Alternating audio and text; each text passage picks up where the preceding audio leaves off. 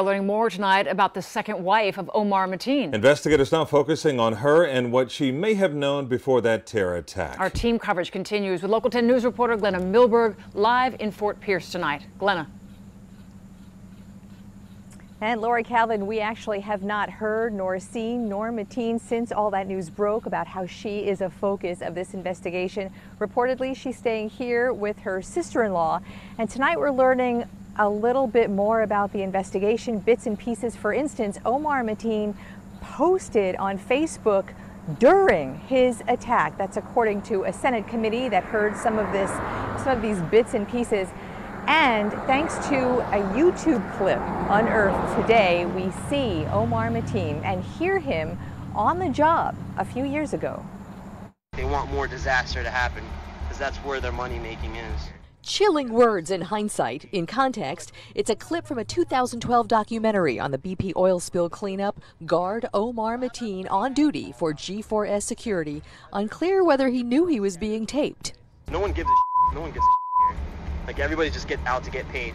They're like hoping for more oil to come out and more people to complain so they'll have the jobs. Mateen's conversations and actions, especially the more recent ones, are part of the net cast by investigators. We learned they've sent the cell phone he used three times during his shooting rampage and the weapons to the FBI lab in Quantico, Virginia. My son was a victim and got trapped in the, the scheme of this uh, ISIS idea.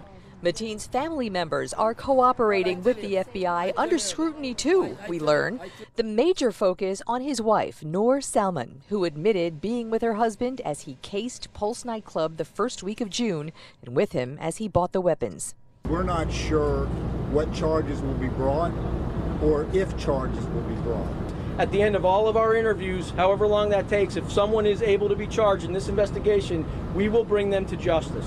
Noor has stayed out of sight, reportedly at the home of Mateen's sister, where family members have come and gone throughout the day. In so hindsight, do you think she could have stopped what uh, happened? Uh, I, I, just, uh, I'm done. I'm out of uh, energy. Thanks so much. Everyone involved wondering whether this was terrorism or whether this was a hate crime. And today, the assistant special agent in charge with the FBI said it's both. I'm Glenna Milberg in Fort Pierce tonight.